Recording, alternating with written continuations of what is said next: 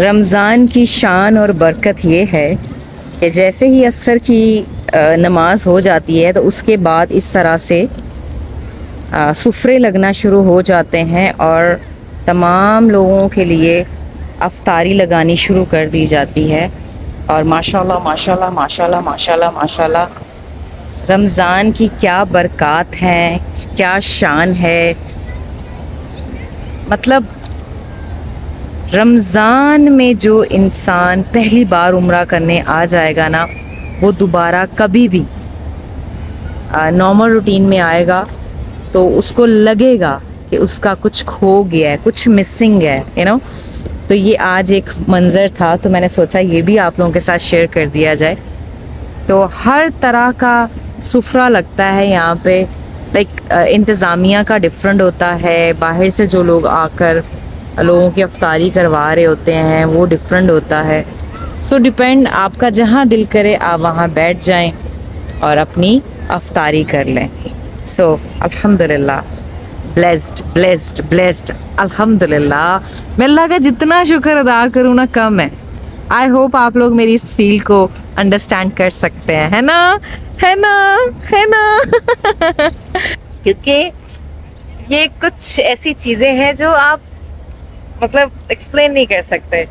तो रमज़ान की बरकत, रमज़ान की शान। अल्हम्दुलिल्लाह अल्हम्दुलिल्लाह अल्हम्दुलिल्लाह अल्हम्दुलिल्लाह। हमारे लिए यही बहुत बड़ी बात है कि हम अपने नबी की उम्मती हैं सीरियसली हमारे लिए यही बहुत फ़ख्र की बात है कि हम मुस्लिम हैं। वी आर मुस्लिम यस इन छतरियों के नीचे बैठ के कुरान पाक पढ़ने का अपना ही मज़ा है, अपना ही एक लुत्फ है। अपना ही एक सरूर है। और देखिए मैं मस्जिद नबी में बैठी हुई हूँ। और आज मैंने कुछ चीज़ों को कैप्चर करना था जिसकी वजह से मैंने मैं अंदर नहीं गई। क्योंकि मैंने आप लोगों को अपनी लास्ट वीडियो में बताया था ना कि हम दो दिन प्रॉपर सो नहीं पाए। और आ, मुझे एलर्जी भी है ये कालीन्स वगैरह से।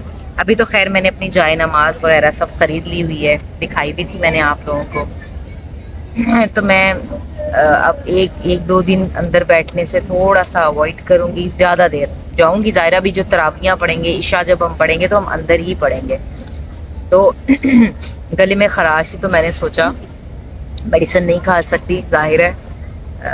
रोज़े के बाद खाऊँगी और खाती हूँ तो मुझे गनूदगी होना शुरू हो जाती है। तो मैं इस वजह से आजकल मेडिसिन फ्लू की खा ही नहीं रही। तो आज खुली फिज़ा में बैठ के आप लोगों से बातें कर रही हूँ। कुरान पाक पढ़ रही हूँ अल्हम्दुलिल्लाह।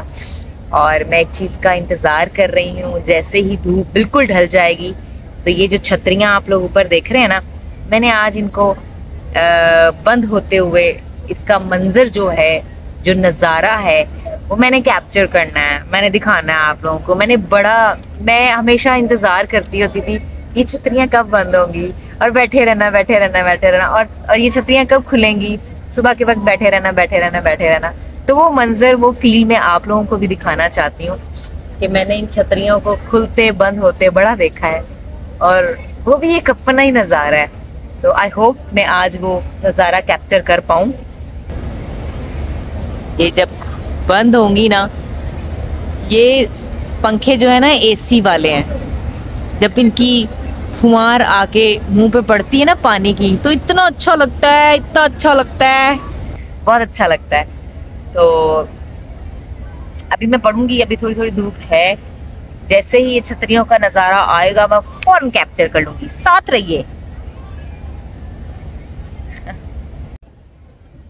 तो ये पहली छतरी बंद होना शुरू हो गई। मेरी अचानक से नज़र पड़ी।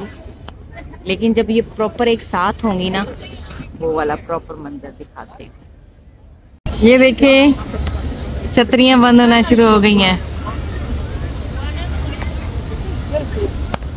मैं इसको प्रॉपर कैप्चर करूँगी।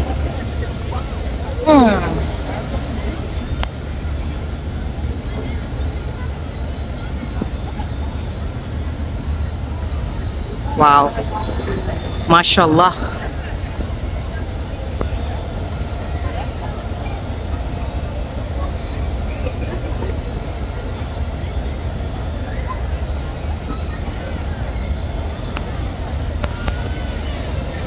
नाइस ना वाह वाह वाह वाह वाह वाह ये जब प्रॉपर बंद हो जाएँगी तो ये गुंबद बन जाएँगी। कितनी प्यारी लग रही है ऐसे बेचारा इसको पकड़ लो ऐसे ऐसे। जब ये सारी बंद हो जाएँगी तो ये मीनार की तरह हो जाएँगी। कितना अच्छा लग रहा है ना? ये मीनार बन जाएँगे अभी वो भी दिखाती हूँ। वाह वाह वाह वाह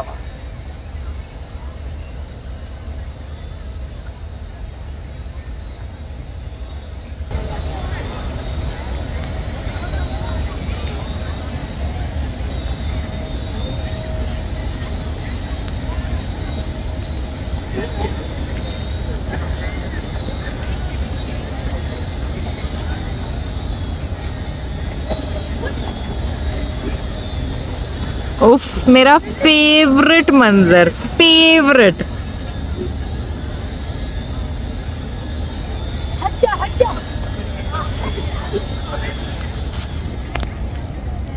वो जो एक आवाज़ आ रही थी, वो भी आना बंद हो गई है।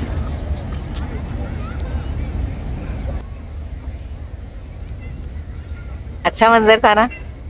पसंद आया ना आप लोगों को? हो ही नहीं सकता, मेरी पसंद किसी को पसंद ना आए।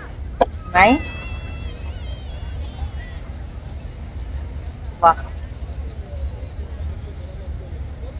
साथ रहिए। ब्लॉग्स देखते रहिए।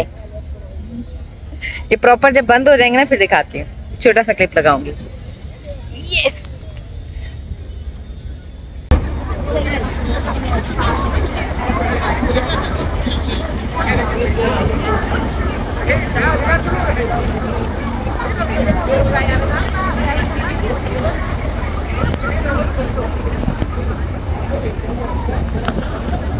तो ये प्रॉपर बंद हो चुके हैं तो मैं आप लोगों को दिखा रही हूँ। देखिए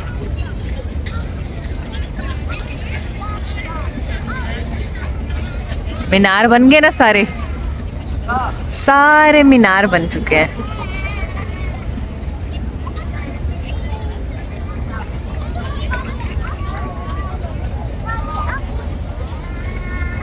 यहाँ सीधे जाएँ तो मेरा होटल आता है।